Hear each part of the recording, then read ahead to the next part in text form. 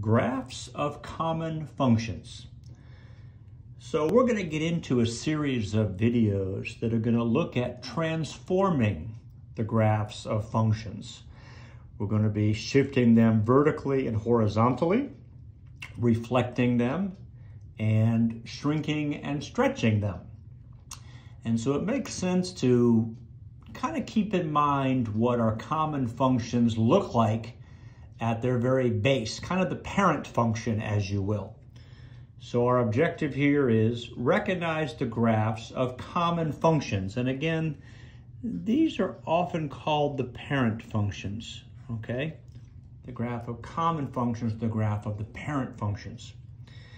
And so quickly, frequently encountered functions include the constant function, which is this one here, the identity function, this one here, absolute value, quadratic, square root, cubic, and cube root functions.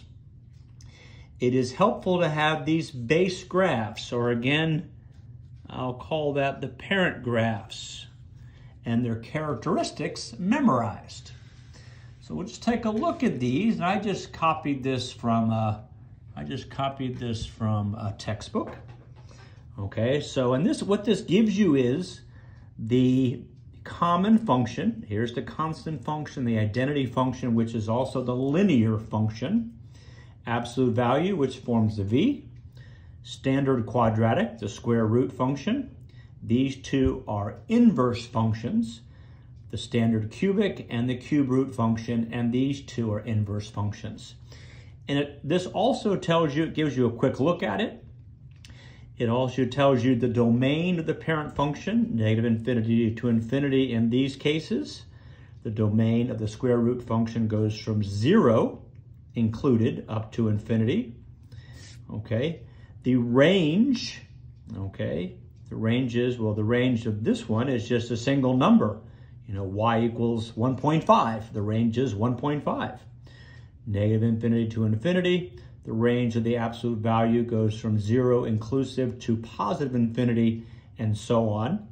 When it decreases or increases, and we've talked about that, this one increases all the way from negative infinity to infinity. Again, the parent function is increasing the entire time. This one increases, whoops, increases from zero to infinity, and it decreases from negative infinity to zero, etc., etc. here. Um, and all also we've discussed is the function even or odd. Okay, even symmetrical with respect to the y-axis. This is even, this is even, this is even. Okay, odd, symmetrical with respect to the origin.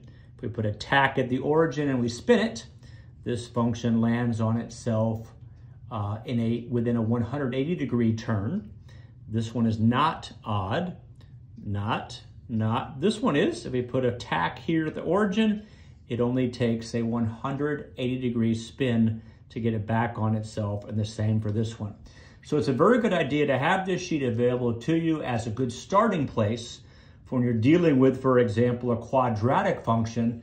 What is the basic shape of the parent function and what am I doing to manipulate that?